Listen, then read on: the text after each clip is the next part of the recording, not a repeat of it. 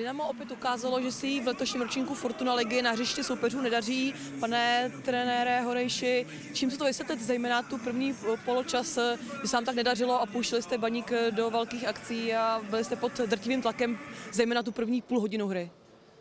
Tak já souhlasím, ale tak jak jsme hráli směrem dozadu, tak takhle se bohužel první liga hrát nedá. Na nás stačilo nakopnout jenom mít za, my jsme s tím měli obrovský problém, přitom jsme se na to připravovali, takže hra směrem dozadu v prvním poločase byla, byla hodně, hodně slabá. Tam baník prostě měl větší kvalitu, byl jednoznačně lepší, pohyblivější.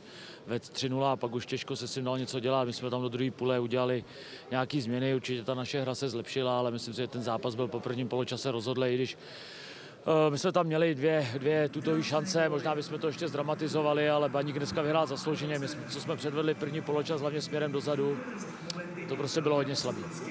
Takže to z vašeho pohledu už hodně ovlivnila ta hodně rychlá první branka? Tak samozřejmě eh, ten vstup do toho utkání, bohužel v sedmi minutě, když je to 2-0, tak se těžko s tím něco dělá, takže já to prostě nechápu. My jsme se na ty věci připravovali, byly to prostě lehký nakoplý míče, míče za obranu a my jsme s tím nedokázali poradit. Jak říkám, prostě směrem dozadu jsme dneska působili hodně, hodně špatně. V základu byl dnes poprvé Emanuel Tolno a z té levé strany to úplně nefungovalo. Nemám pravdu?